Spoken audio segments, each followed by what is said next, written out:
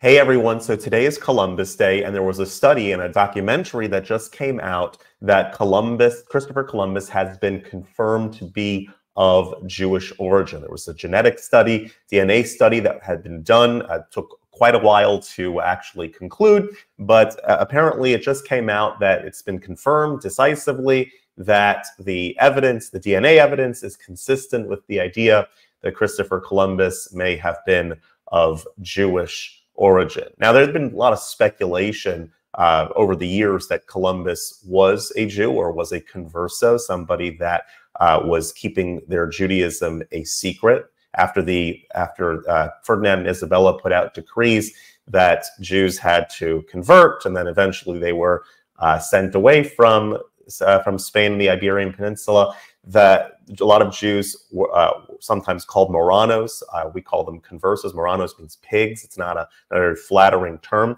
but they were called conversos uh, because they, they kept their Judaism in practice in secret. And the, again, their presentation would be uh, practicing Catholicism, but in secret, they would they'd be practicing Jews. There have been a lot of talk about Columbus being one of those types of people for a, for a long time. Uh, part of the reason for that is because some of the people who helped finance his explorations were converso Jews. You had, for example, uh, Rodrigo de Triana, who came, who was a converso, was on uh, Columbus's initial voyage, and he was he was actually the first person to spot land. The person who spotted land was of Jewish ancestry. You also had Luis de Torres, who was a who was born as Yosef ben Halevi, uh, who went as Columbus's interpreter, and um, was perhaps the first person to step foot on land in the New World. So one could say that it's very possible that the very first person of European origin to ever step foot in the New World was in fact a Jew, someone who was born uh, a Jew. Uh, there, there's a lot of interesting uh, insights that are also connected with, with Columbus's uh, sort of secret observance or secret connection with his Jewish roots. The fact that in his personal journals, he had a very deep familiarity uh, with with Hebrew and, and Judaism. He also had cryptic notes in his personal writings. For example, some people claim that on some of his uh, some of his paperwork he had the Beis Hey, which stands for in in our tradition Baruch Hashem or Be'ezras Hashem, with the help of God, which was uh, a traditional thing for quite some time. Uh, some claim that Columbus himself has this on some of his documents. Whatever the case may be, uh, there is a strong Jewish connection and vibe to Columbus and his journeys, uh, wh whether or not that is actually confirmed in the genetics.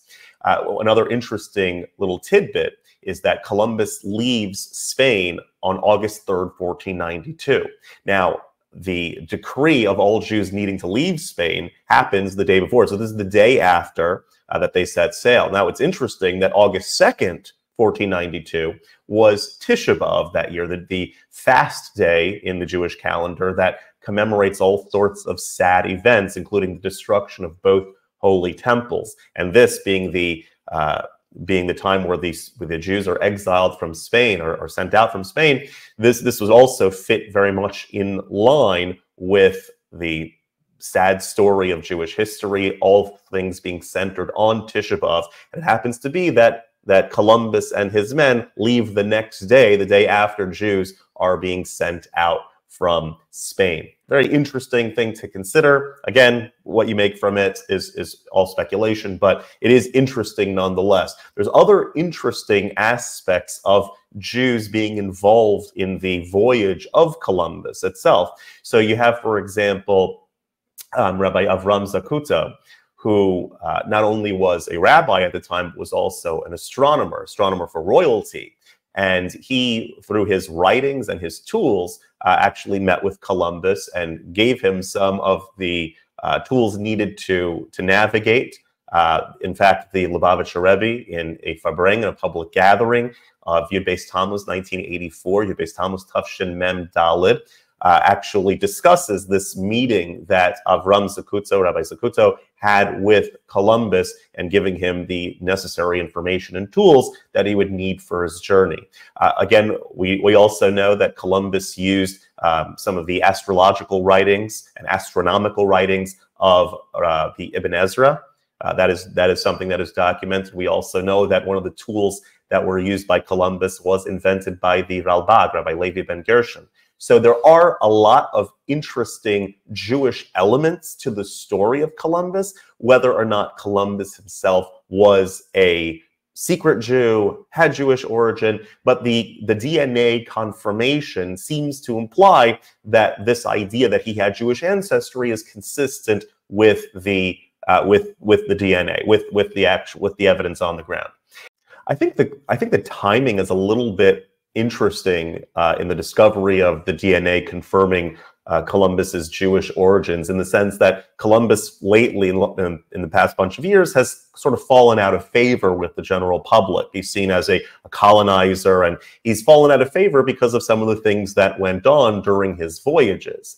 And so I, I think it's again interesting that Columbus is mentioned uh, specifically his DNA and his his Jewish roots uh, being part of who he is are that they come to the fore all of a sudden when uh, the the same crowd that tends to be against Western civilization uh, and against Israel uh, and sees Jews as colonizers over the oppressed uh, Palestinians.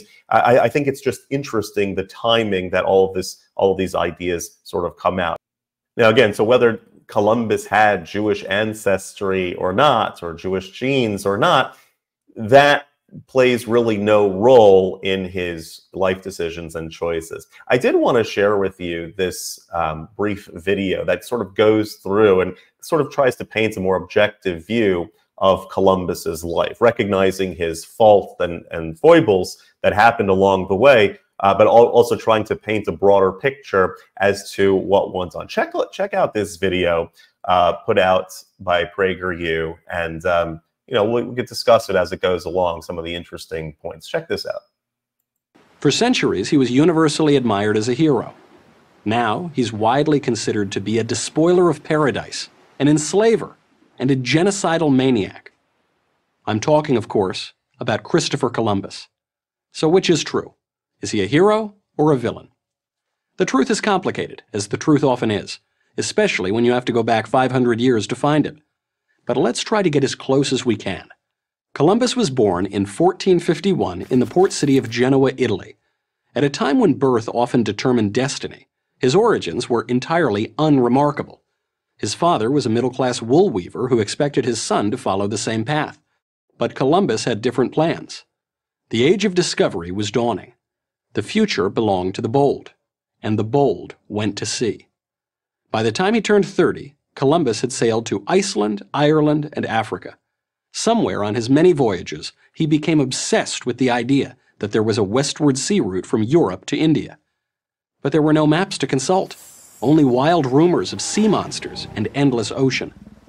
He put together the 15th century version of a PowerPoint presentation for the King of Portugal, then the world's leading sea power. But the king, heeding the advice of his experts, turned him down.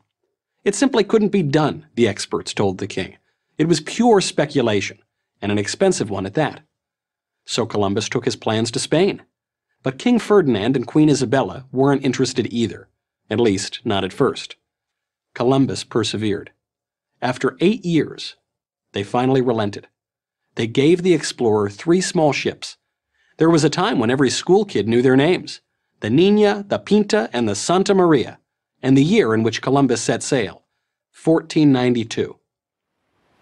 Except for a compass and the stars, Columbus had virtually no navigation tools at his disposal. He was, to mix metaphors, flying blind. He was heading west. That's about all he knew. Once the ships left the Canary Islands, they were on their own. His crews stayed loyal for the first week, but by the third week, they had lost their nerve. Columbus, however, never lost his. By sheer force of will, he kept his men in line. Finally, after 10 long weeks at sea, on the night of October 11th, Columbus spotted land. He called it San Salvador.